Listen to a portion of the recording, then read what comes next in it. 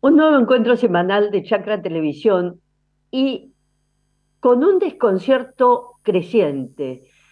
Es cierto que cayeron algunas lluvias, no todas las que deberían, no en todos los lugares que hacía falta.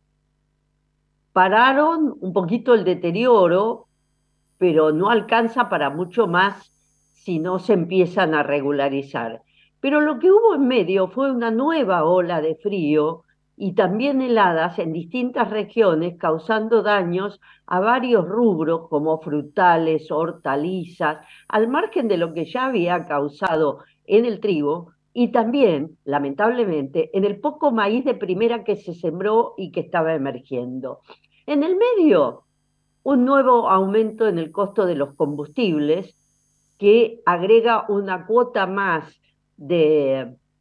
de desagrado, de disgusto y de achicamiento en los márgenes, en márgenes que distan de ser los que eran hace un tiempo atrás, entre otras cosas porque los precios de los granos en general se fueron estabilizando y se entiende que después que termine la cosecha de Estados Unidos, estamos ahora pleno, salvo que se compliquen demasiado los cultivos en Sudamérica, los precios deberían tender a bajar un poco más. La nota de la semana, sin embargo, la dio nuevamente Putin, porque al denunciar unilateralmente el, acuerdo que tenía para granos, es decir, para dejar salir desde el Mar Negro los barcos con, eh,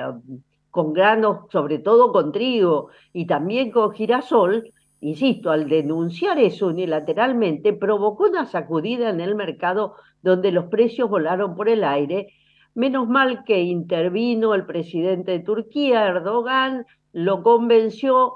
Putin dio marcha atrás con la medida y nuevamente se recompuso, se retomó el tráfico por el Mar Negro de buques graneleros, lo cual es buena noticia, pero en todo caso muestra la extrema fragilidad, la extrema fragilidad en que se encuentra todo el mercado, porque eh, cualquier medida, cualquier situación, cualquier novedad, buena o mala al respecto, provoca conmociones muy violentas. En ese contexto, los productores argentinos haciendo malabares para tratar de ajustar los números y seguir como puedan en una campaña que, insistimos, va a ser otra de las olvidables.